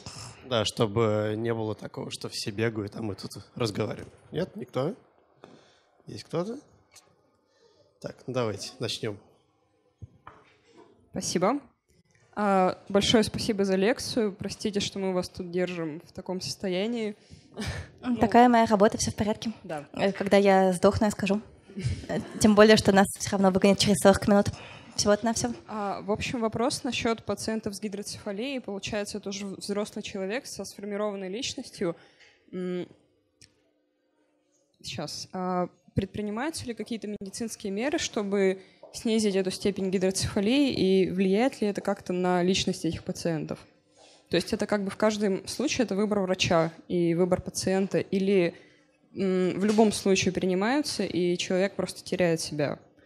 А, если вы имеете в виду людей, у которых уже развилась вот такая выраженная гидроцефалия, то их на самом деле просто не очень много. Э, и выбор стратегии лечения действительно обсуждается в каждом случае индивидуально с врачом. Э, ну, то есть, скорее всего, им делают вот эту операцию по шунтированию и делают так, чтобы жидкость все-таки отлила. Но понятно, что нейрохирург каждый раз конкретно смотрит, э, насколько именно можно позволить себе теперь уменьшить эти увеличенные желудочки для того, чтобы нейронам вообще осталось на что операция и на что держаться. Э, и эти вещи ну, правда, слишком маленькая статистика. Не могу сказать, если... Мне кажется, тут нет какой-то универсальной стратегии mm-hmm. лечения, именно потому что все-таки таких людей немного. Ну, немного задокументировано. Ну да. Спасибо. Да, не стесняйся, поднимайте руки. А вот там же сзади девочка уже давно. Да, вижу, вижу. Передайте. Спасибо. А, здравствуйте. А, я буду с нетерпением ждать вашу книгу. А, хотя желательно было бы пораньше ее выпустить, но А, у меня вопрос по поводу а, ну, нарушения в амигдале. То есть если у людей а, ну, есть какие-то болезни, то есть генетические или физиологически связанные с амигдалой, то отсутствует ли у них страх перед нарушением каких-то моральных норм? Вот. Э, я думаю, э, что не обязательно, потому что вряд ли страх перед нарушением моральных норм хранится только там. То есть, э, когда мы говорим о... Чем более сложное и развитое поведение, о котором мы говорим, тем больше мы можем предполагать разных отделов мозга, которые в него задействованы. То есть, если мы говорим именно о страхе наказания, тогда, да, страх наказания, скорее всего, снижается. Как у человека, у которого повреждена амигдала, так и у человека, у которого, например, повреждена вентромедиальная префронтальная кора, растолковывающая сигналы от амигдала, но при этом морально-нравственные ценности, скорее всего, хранятся не только там. Э, морально-нравственные ценности хранятся еще как минимум, например, в гиппокампе, в височной коре, которые связаны с памятью и с предшествующим опытом о том, что лучше для общества, чтобы все вели себя хорошо, чем чтобы все вели себя плохо. Э, вероятно, в лобной коре, которая связана с оценочными суждениями. Я имею в виду более высокие отделы лобной коры, типа дорзолатеральной. Э, то есть такие вещи хранятся много где, если человека от плохого поступка останавливает только страх наказания, э, тогда, да, скорее всего, амигдала, если ее повредите, человек станет плохим. Но большинство людей удерживает плохого поступка не только страх наказания. То есть если бы мы с вами тут были вдвоем, я могла бы вас задушить, э, э, несмотря и, допустим, что никто бы никогда этого не узнал, я бы все равно не стала вас душить, потому что я не хочу вас душить, вы очень милая, и зачем вообще?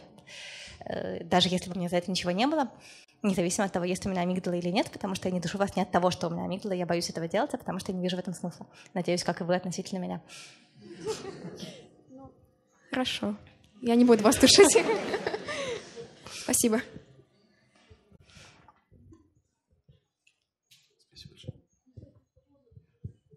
Сейчас. Есть такое, Сейчас, секунду, все есть такое вопрос. удивительное генетическое нарушение, которое называется, кажется, синдром Вилсона, но я сейчас могу наврать, в котором у детей э, и у взрослых тоже не очень хорошо работает амигдала.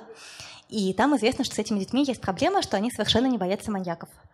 Э, Что когда к ним подходит мрачный хмырь с топором и говорит «мальчик, пойдем со мной», э, то у нормального ребенка в такой ситуации амигдала настораживается, отправляет сигналы «опасно, опасно, давай не пойдем» а у человека с вот этим заболеванием э, не настораживается, и, соответственно, он радостно идет, и это требует дополнительного внимания от педагогов для того, чтобы эти дети не ушли с кем попало. Спасибо большое за лекцию. Такой вопрос. Недавно на просторах интернета наткнулась на такую историю. Я не знаю, это миф или это как-то научно подтверждено. В общем, а, ряд товарищей был приговорен к казни. И вот перед тем, как а, первого товарища казнить, ему а, предложили любое желание. И он сказал, что вот после того, как вы мне отрубите голову, если я пройду э, мимо нескольких человек, вы их освободите. И вот вопрос, что им движило, потому что он действительно встал и прошел мимо всех человек и всех отпустила, и э, получается голова валялась где-то и ничего э, в тело не посылала, никакие импульсы, ничего. Как он вот это сделал? Возможно ли это? Спасибо. Э, ну, смотрите, да, это пересекается с вот этой историей удивительной про то, почему людям, даже если повредить мозолистое тело, э, у них все равно не нарушается координация движений. Э, то есть они спокойно ходят, и некоторые даже на музыкальных инструментах играют. Э, потому что мы управляем движениями не только с помощью моторной коры, которая находится высоко, мы управляем движением в том числе и с помощью более низкорасположенных структур и в промежуточном мозге, и в среднем мозге, э, и в том числе даже в спинном мозге. То есть, когда мы просто идем куда-то ни о чем не задумываясь, в принципе, мы можем это делать, ну вот управлять самими шагами, ритмом шагов на уровне практически спинного мозга. Голо- головной нам нужен больше для того, чтобы подумать, куда мы хотим идти. И, в общем, наверное, технически это возможно, если вы перед самой смертью так сильно концентрируетесь э, на том, чтобы отправить вниз на те структуры, которые сохранятся, очень-очень сильную команду про то, что идея обязательно. Э, наверное, этого можно достичь, хотя надо смотреть, опять же, нас- насколько конкретно этот случай задокументирован и правдив. По крайней мере, с курицами так точно можно. Э, Курицы бегают после того, как им отрубить голову. И был знаменитый один безголовый петух, э, я забыла, как его зовут, но можно погуглить, э, который жил э, 10 ме- или 18 месяцев после того, как ему отрубили голову. Его кормили, засовывая в пищевод зернышки. И, ну, у него там осталась какая-то маленькая часть, нижняя часть мозга, которой ему хватило для того, чтобы жить. Такая же проблема есть, например, со сном у акул. Э, У акул проблема в том, что они должны плавать для того, чтобы у них э, вода омывала жабры, э, для того, чтобы они, пр- происходил газообмен между акульими жабрами и, и, и водой. Вот, но непонятно тогда, как акуле спать, потому что если акула засыпает, то как же она будет плыть, и как же она тогда не задохнется и не утонет. И вот известно, что, по крайней мере, некоторые акулы точно умеют плавать с помощью спинного мозга, головным при этом спокойно спя. Э, Некоторые, может быть, не умеют, но зато они ложатся в потоки воды, подземные, подводные течения, и спят в них для того, чтобы вода омывала им жабры. Спасибо большое. Остается интересным, знал ли этот э, преступник, был, наверное, он был нейробиологом, чтобы все это знать. Ну, вполне вероятно, да. Э, Нам рассказывали на анатомии человека еще на первом курсе на биофаке давным-давно про другого преступника, который выжил при повышении э, благодаря тому, что у нас э, мозг снабжают, собственно, четыре артерии. Вот две сонные по краям, из них основной поток крови. А кроме этого еще две артерии проходят внутри позвоночника, маленькие. Э, И обычно, когда человека вешают, у него просто ломается шея, и ну, сначала он теряет сознание от того, что мы передавили сонные артерии, потом у него еще ломается позвоночник, и все. А однажды вешали мужичка с очень хорошо накачанными мышцами шеи. Так, э, И у него настолько мощные были мышцы шеи, что они предотвратили э, позвоночник от перелома. И благодаря этому у него вот передавились сонные артерии, он потерял сознание, но при этом в мозг все еще продолжала поступать кровь по тем артериям, которые находятся внутри позвоночника. И когда его сняли с виселицы, с виселицы он пришел в себя и ожил. Э, и благодаря этому его отпустили. И вот нам мы рассказывали об этом на лекциях с призывом качать шею, потому что всем понятно, где мы окажемся после биофака в конце концов. Спасибо большое за лекцию. А, Еще вопрос по поводу повреждения амигдалы. Есть ли примеры, когда люди проживали ну, долгую жизнь с учетом этих повреждений, и какие вообще характерные последствия их ждут, вот таких нарушений по жизни? Э, да, примеры такие есть. Э, смотрите, такого рода повреждения часто вообще не, не выявляются. То есть это повезло, если случайно вы нашли человека, э, э, познакомились буквально случайно где-то с пациентом, и слово за слово выяснилось, что он такой бесстрашный, и вы решили посмотреть ему на амигдалу. То есть большинство людей там, с той же болезнью Урбаховиты живут без всяких симптомов, и никак у них это не выявляется, просто про них известно, что они очень храбрые. Э, мы, люди, живем в довольно безопасных условиях, с одной стороны, и редко встречаемся с смертельными опасностями, которые требуют быть достаточно трусливым. Э, а с другой стороны, даже когда мы встречаемся с смертельными опасностями, э, наоборот, храбрость может скорее поспособствовать тому, чтобы мы выжили, э, ну, потому что она, например, позволяет напугать маньяка от того, что ваши действия для него непредсказуемы. Если у человека повреждена амигдала, и он не испытывает страха, то это не означает, что он безумен и безрассуден.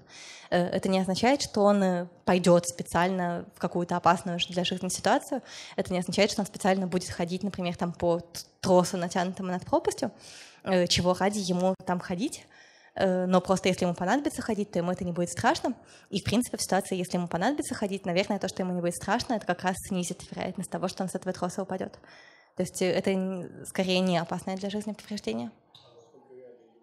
Лучше в микрофон. Удалить ее сложно. Сложно, она глубоко расположена. Это вот проблема вообще с любыми воздействиями на мозг, э, даже с неинвазивными, скажем, с транскраниальной стимуляцией, что транскраниальной стимуляцией удобно действовать на то, что находится на поверхности, э, на кору. А на амигдалу транскраниальной стимуляции не подействуешь, потому что слишком глубоко она находится. Вы магнитным полем так глубоко не добьете, чтобы подействовать на активность амигдала. Ну, нейрохирургической операции можно, но тоже неудобно подкопаться. Это э, у нейрохирургов вообще очень сложная, очень кропотливая работа.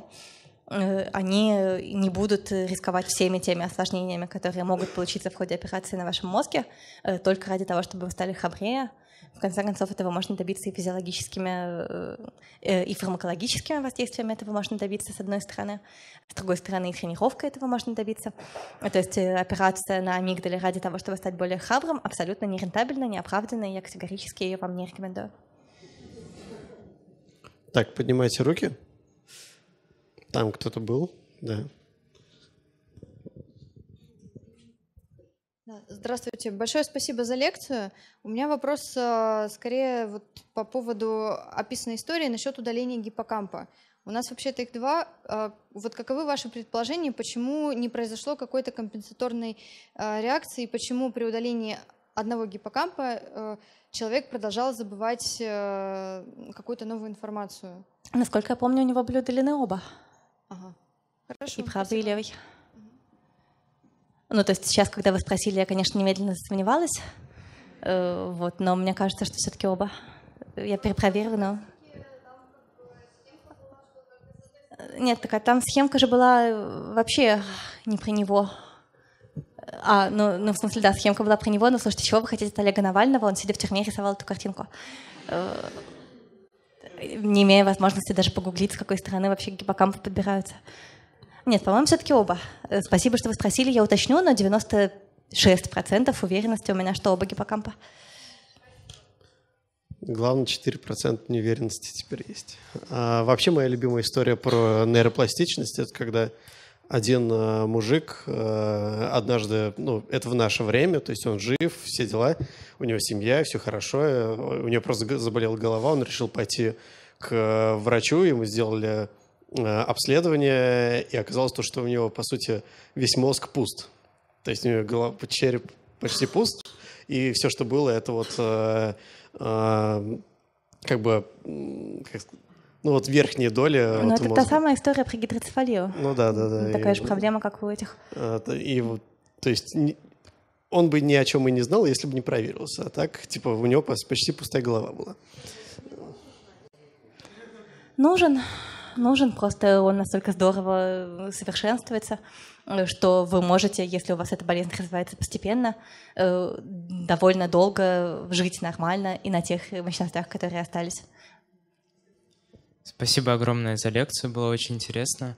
А, Я хотел бы спросить, а возможно ли хотя бы чисто теоретически пересаживать части мозга? И были ли такие эксперименты, ну, между людьми, понятно, что такие не будут проводиться, а между животными, например? Э, Ну, смотрите, проблема здесь не в том, чтобы пересадить, а в том, чтобы они начали друг с другом общаться. Э, То есть, э, в общем и целом, это технически возможно. Более того, в принципе, такие эксперименты были и с людьми тоже. Э, Когда мы говорим про лечение болезни Паркинсона, э, там с лечением болезни Паркинсона проблема в том, что у вас гибнут нейроны, вырабатывающие дофамин, и там есть разные варианты. Там э, признано применяется, используется микроэлектродная стимуляция, глубокая стимуляция мозга. То есть, когда вы вводите электроды глубоко в субатомическое ядро и стимулируете выработку дофамина теми нейронами, которые еще остались в живых, вот это тот подход, который пошел более или менее в клиническую практику. А в ранние времена параллельно с ним существовал еще экспериментальный подход, э, в котором э, добывали нейроны, способные к выработке дофамина. Я точно не знаю, с кого, думаю, что из абортированных младенцев, э, эмбрионов или что-нибудь в этом роде.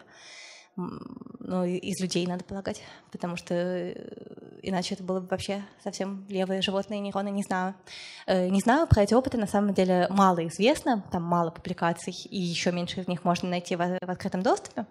Э, Но я знаю как факт, что были вот эти исследования с пересадкой каких-то нейронов, вырабатывающих дофамин в мозг людям, и вроде бы от этого были какие-то хорошие последствия, в смысле улучшения состояния людей с болезнью Паркинсона. Но другой вопрос, что там эти хорошие последствия могли, в принципе, теоретически достигаться и без каких-то именно синаптических связей между старыми нейронами и новыми нейронами.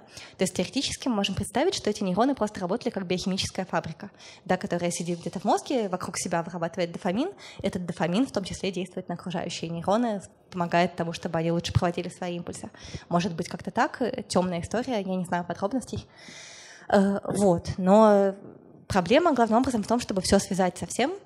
Э, Это больше исследуется в связи с э, не центральной нервной системой, а периферической нервной системой. Вот когда руку отрубил вам муж, например, да, в лесу топором, то там главная проблема в том, как ее пришить, в том, чтобы соединить обратно те нервы, которые остались в руке, с теми нервами, которые остались в руке с другой стороны. В принципе, сегодня такое делают. Принципе, сегодня руку отрубленную можно пришить обратно, так, чтобы она более или менее восстановила подвижность. Но это прямо сложно технически. Это при том, что даже когда мы говорим про нервы, которые все-таки видно глазами, которые можно как-то ну, физически соединить друг с другом. А когда мы говорим про нейроны с их крохотными отросточками, аксонами и дендритами, э, там э, сами они ни с чем не соединятся, там нужно как-то выборочно на них капать из пипетки э, веществами для того, чтобы они начали растить какие-то новые нейроны в какие-то новые стороны, иначе это будет довольно бессмысленно. То есть пересадить какой-то кусок мозга вы можете, но он будет не связан ни с чем. Как вы какую-то новую микросхему в компьютер запихнете, но, но проводочки в нее не воткнете, и тогда не будет никакой пользы от того, что там будет эта микросхема. Вот, то есть э, пока что Пока что ничего внятного про это я рассказать не могу. Хотя, опять же, это не, не значит, что никто не не экспериментирует. Может быть, кто-то экспериментирует, а я просто никогда прицельно этого не искала. Я запишу себе, я посмотрю. А, Два человека вижу.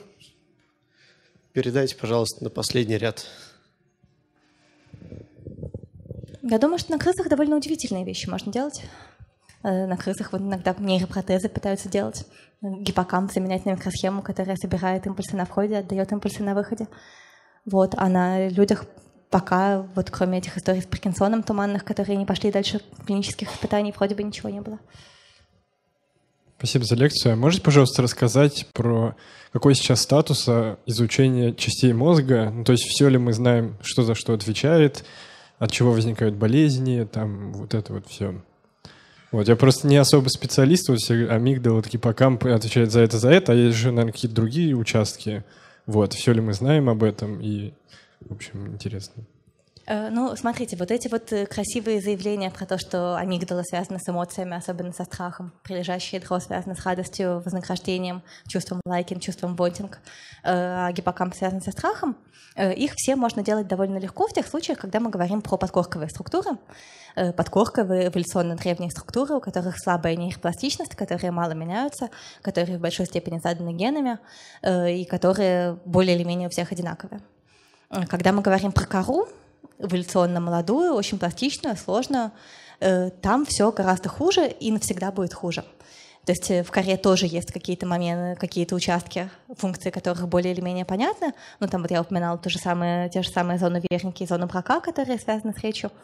Но при этом это совершенно не означает, что они связаны, что это единственная зона, связанная с речью. Вообще, вообще, вообще нет.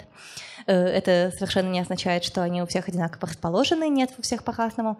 Э, это не означает, что они единственные, кто для этого нужен, даже что они главные, кто для этого нужен. Э, и это не означает, что они никак не изменяются в ходе жизни, в ходе опыта, в ходе того, как мы учим какие-то новые языки, например, начинаем пользоваться ими более эффективно. То есть если в подкорке мы хоть как-то можем говорить, что амигдала, страх, гиппокамп, память, э, то в коре гораздо правильнее говорить, что все отвечает за все. И чем больше это изучают, тем больше выясняется, что все отвечает за все. Э, страшно много неприятностей, ну, то есть на самом деле радостных неприятностей с моторной корой, например. Потому что с моторной корой 30 лет назад все было ясно и понятно. Вот моторная кора, вот она отвечает за движение рук, ног, э, чего угодно. Вот. Потом стало выясняться, что, например, моторная кора играет большую роль в представлении, в планировании будущих движений, э, что, для того, что у вас моторная кора активна не только тогда, когда вы бьете молотком, но и тогда, когда вы думаете о молотке, о том, как вы будете им бить. Но это еще полбеды, казалось бы, вы готовитесь к тому, чтобы бить молотком. Но вот сейчас стали появляться данные о том, что моторная кора нужна для семантики, для самого восприятия смысла слова «молоток».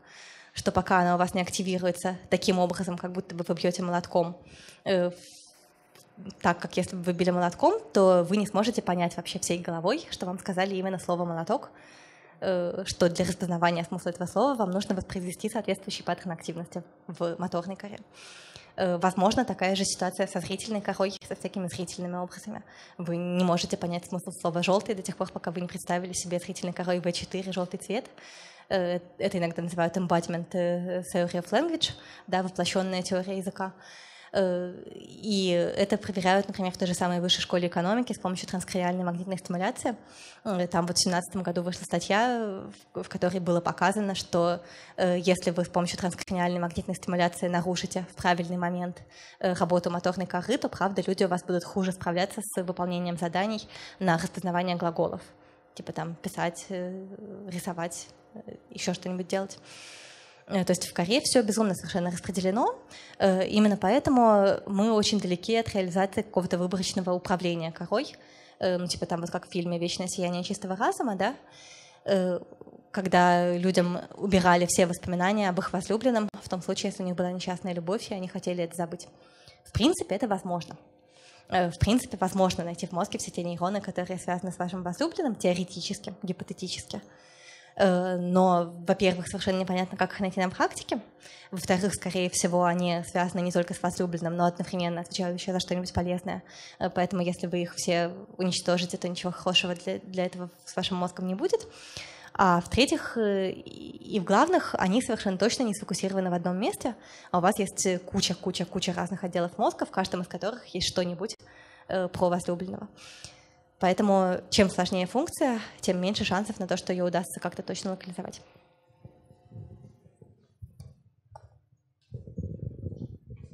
Было видно, как зал ошевелился, прям возбудился, когда а, ты сказала, что можно удалить э, информацию о бывших. Можно, но нет. Увы. А, здравствуйте, спасибо за лекцию и за книгу, в принципе, тоже. А, За две. Ну, я читал просто одну. За две с половиной. А, хотел, ну, как бы, блицем, наверное, потому что у меня каскадно. Первое — это а, вообще отсутствие критического мышления — это болезнь. И вообще можно ее как-то заставить, э, спровоцировать, чтобы у человека оно возникло, то, что называется критическим мышлением, да, ну, собственно, какая-то интеллектуальная реальная часть развития.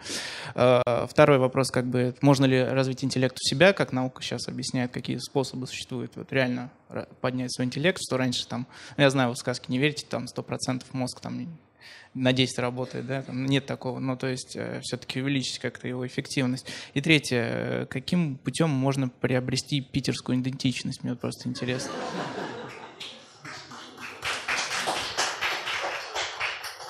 Отсутствие критического мышления — это не болезнь. Отсутствие критического мышления — это норма. Э, к сожалению, потому что действительно мы с вами эволюционировали в тех условиях, в которых критическое мышление очень часто было нам не нужно. Э, когда вы живете в дикой природе и вам нужно решить, убегать от тигра или не убегать, то во многих случаях принимать решение быстро, спонтанно, эмоционально оказывается более способствующим выживанию, э, чем остановиться, сесть и задуматься о том, стоит ли убегать от этого тигра, или, может быть, лень убегать от этого тигра, стоит ли пытаться подкатывать к этой девице, или, может быть, не стоит подкатывать к этой девице. Э, то есть э, эволюция нас особо не готовила к тому, чтобы у нас, в принципе, было критическое мышление. Э, те, у кого оно было, совершенно не обязательно выживали и оставляли потомство по сравнению с теми, у кого его не было, и кто сразу чего тут думать, прыгать надо, шел и добивался своих целей. Вот. Но мозг не однороден. В мозге у нас по-прежнему есть вот эти эмоциональные центры, да, прилежащее ядро, которое всего хочет, амигдала, которое всего боится. И есть э, новенькая наросшая дорзолатеральная префронтальная кора, э, которая взвешивает э, ту информацию, которую получила, и пытается остановить человека, пытается думать о том, что делать, пытается взвешивать разные за и против и принимать решения. Про это есть совершенно офигенский курс лекций по нейроэкономике Василия Андреевича Ключерева из все той же моей любимой высшей школы экономики. Этот курс есть на курсере.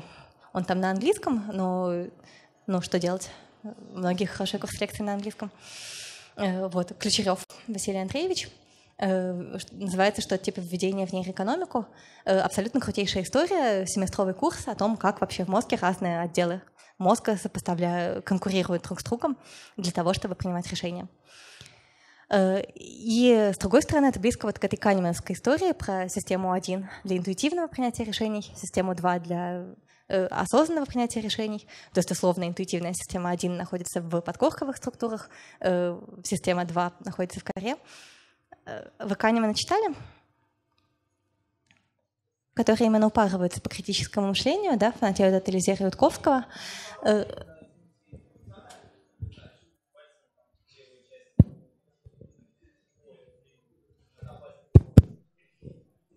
Нет, ну, наверное, если вы ведете с человеком спор и внезапно вылили ему на голову ведро холодной воды, то спор ваш на этом закончится, потому что он от этого отвлечется и пойдет сушиться. Вот, но, э,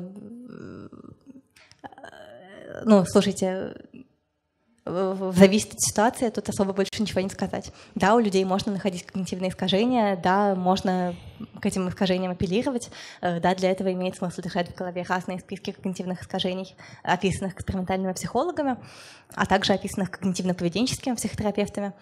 Вот, то есть э, когнитивно-поведенческая психотерапия, например, да, это самая научная из всех разновидностей психотерапии. Она занимается главным образом тем, что у нее есть какой-то список ошибок мышления, которые характерны для людей, и она со своими пациентами копается, пытаясь научить их э, распознавать вовремя у себя в голове какие-то их личные логические ошибки, э, типа там ошибку чтения мыслей, Э, когда мы приписываем э, себе уверенность в том, что мы точно знаем, что о нас думают другие люди. То есть я, например, уверена, что вы сидите и думаете, господи, какая тупая телочка с плохой дикцией, что она себе возомнила, зачем она вообще нам все это гонит. Вот, я уверена, что вы думаете так, потому что я могу читать мысли. Э, мой психотерапевт говорит мне, что не надо так делать, что э, обращается к разуму, говорит, что вы пришли сюда добровольно, значит, наверное, вы думаете что-то другое. Э, вот. И такие вещи э, достигаются длительной практикой и опытом. Э, но не пытайтесь приобретать питерскую идентичность, потому что если у вас питерская идентичность, то вы всегда будете думать про всех людей вот так, что они сидят и вас ненавидят. Поднимайте еще руки, если у вас есть вопросы. Ой, сколько много.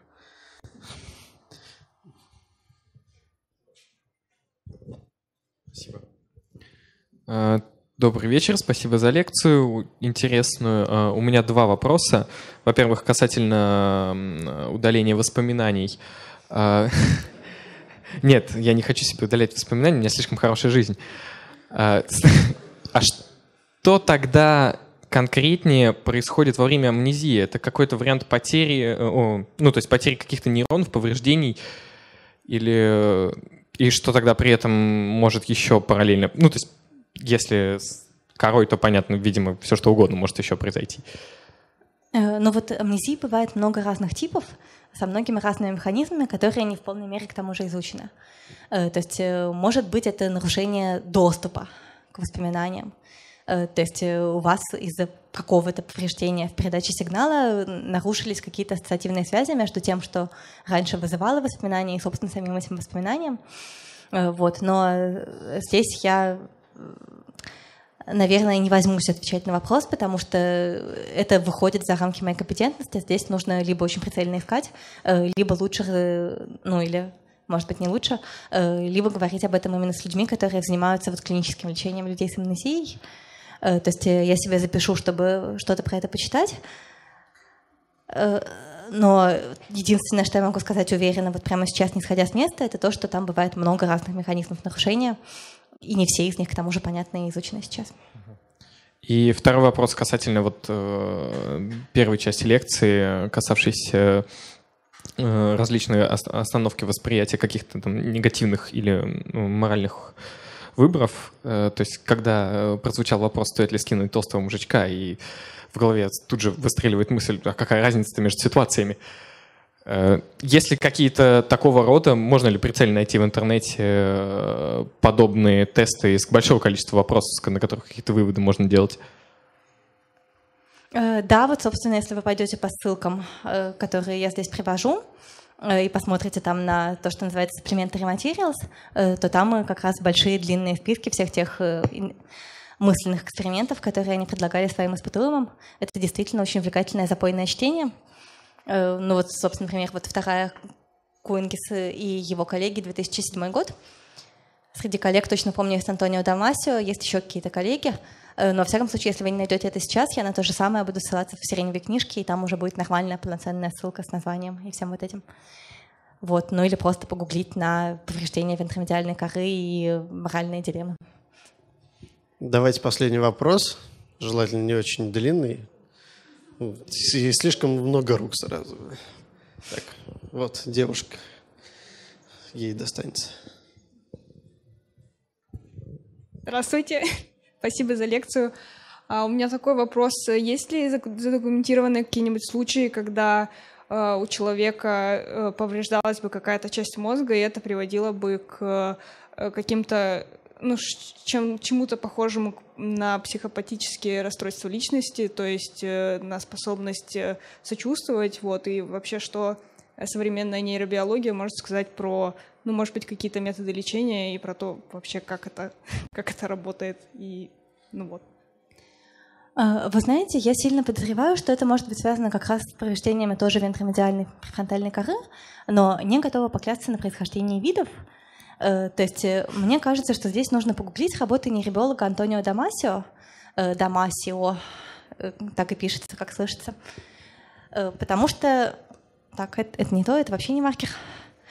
Потому что Дамасио, он вообще один из самых крупных специалистов по травмам лобной коры. Всякой разной лобной коры, да, у нас большая лобная кора, у нас в лобной коре вот есть дорзолатеральная, вентромедиальная, орбита фронтальная, и у каждой есть какие-то свои особенности, какие-то свои связи. И я сейчас помню, что в каких-то его работах я видела упоминание того, что повреждение каких-то кусков лобной коры способствует снижению эмпатии, снижению способности э, оценивать морально-нравственные выборы поступков. Но я сейчас навру, мне кажется, что это было тоже связано с вентромедиальной, э, но я могу ошибиться сейчас. Спасибо.